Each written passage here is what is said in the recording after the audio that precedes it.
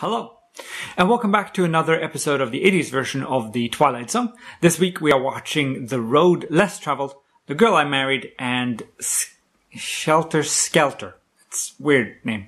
Uh, the Road Less Traveled is Wes Craven and George R. R. Martin, and this was a, originally shot as a 45 minute episode, but it got cut down to 30.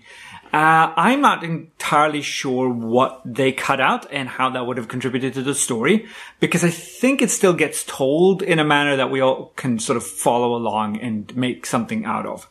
It's all about draft dodging, which is a thing that happened during the Vietnam War where people in the US would go north to Canada to not be drafted into war. Um, it's a bit weird, but that's how it works. Um, Margaret uh, Natch, I think, Denise, uh, is an actual psychologist now. She wasn't when this episode was shot, but she is now. Um, he slept in his car. He should have taken the Volvo. There are, you know, two cars. He should have taken the Volvo because it's way more uh, comfortable, I'm guessing. Uh, this beard prop is not good. Uh, let's face it, it is not a good beard prop. Um, he does describe re-traumatized PTSD, uh, how, how the horrors of war keeps resurfacing over and over and he gets no help. This is the central theme behind First Blood, the first Rambo movie, how he hasn't quite gotten through this. He's still carrying the Vietnam War and then he gets re-traumatized and in Rambo's case, it just triggers him and he goes on this sort of rampage because they drew First Blood, as he puts it.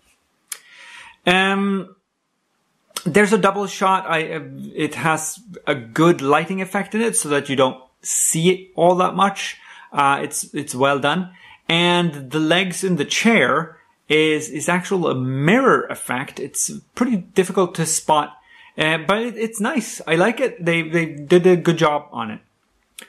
The Girl I Married is a sort of shorter story, um, and it has a hokey sort of frame transition that I did not like too much.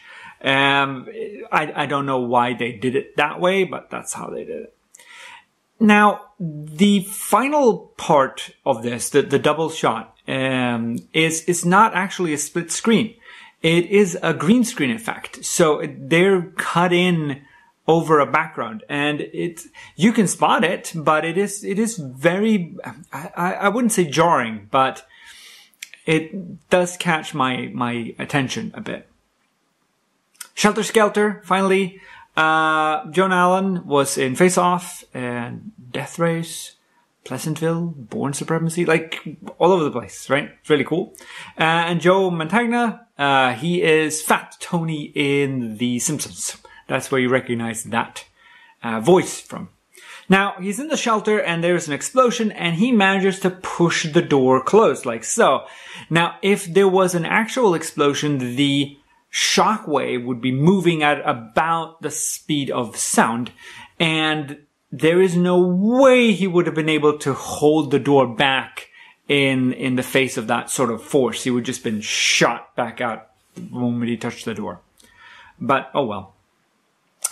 They have supplies in their bunker. I get that. You can have water reclamation, you can have a well, you can have air cycling, you can have air filtration, you can have shelves stocked full of food, all that stuff. But trash would be an issue.